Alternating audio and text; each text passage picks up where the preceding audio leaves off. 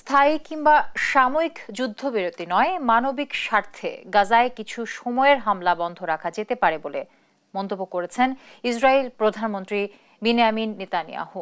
Hamas Israel চলমান সংঘাতের এক মাস পূর্ণ হওয়ায় মার্কিন গণমাধ্যম এবিসি নিউজকে দেয়া এক সাক্ষাৎকারে এ কথা বলেন তিনি। একই সঙ্গে হামাস বিরোধী লড়াই শেষ হলে ইসরায়েল গাজার নিরাপত্তার দায়িত্ব নেবে বলেও মন্তব্য করেন তিনি। এদিকে গাজা শিশুদের কবরস্থানে পরিণত হচ্ছে বলে মন্তব্য করেছেন জাতিসংঘ মহাসচিব আন্তিওনিও গুতেরেস। বিস্তারিত মুশিরবান উসাতের রিপোর্টে।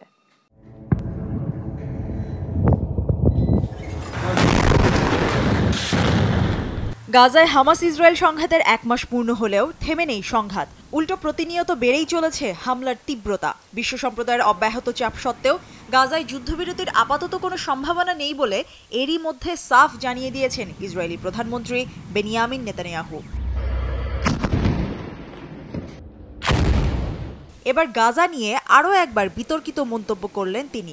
মার্কিন গণমাধ্যম এবিসি নিউজকে দেয়া এক সাক্ষাৎকারে তিনি বলেন গাজায় হামাস বিরোধী লড়াই শেষ হলে সেখানকার নিরাপত্তার দায়িত্ব নেবে Israel.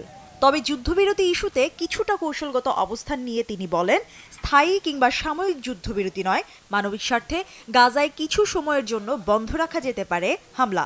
Well, there'll be no uh, ceasefire, general ceasefire in Gaza without the release of our hostages. গাজায় কোনো ধরনের স্থায়ী কিংবা সাময়িক যুদ্ধবিরতিতে যাবে না ইসরায়েল যদি না আমাদের বন্দীদের মুক্তি দেয়া হয়।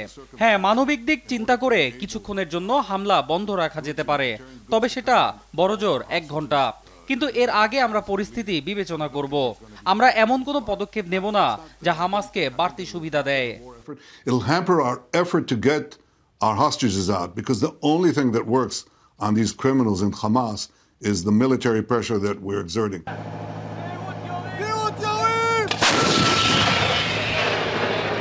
সোমবারও গাজার কেন্দ্রে অবস্থিত আল মাগাজি শরণার্থী শিবিরে বিমান হামলা চালিয়েছে ইসরায়েলি বাহিনী। আকস্মিক এই হামলায় জীবন বাঁচাতে দিকবিদিক ছুটতে দেখা যায় ক্যাম্পটিতে আশ্রয় নেয়া অসহায় ফিলিস্তিনিদের। যদিও এতে হতাহতের বিষয়ে এখনও নিশ্চিত করে কিছু জানা যায়নি। এদিকে হামলা হয়েছে রাফা এবং আলশাতি শরণার্থী শিবিরেও।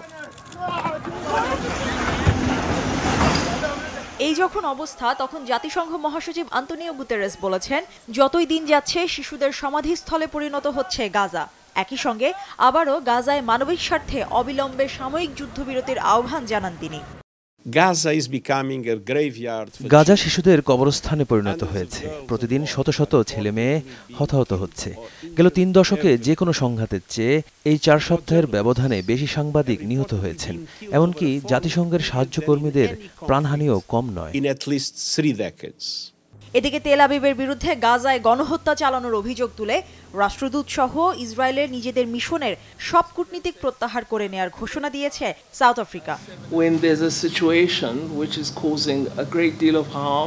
এছাড়াও ফিলিস্তিনিদের ওপর চলমান আগ্রাসনের নিন্দাও জানায় দেশটি Mushrifa Nuzhat news desk Desh TV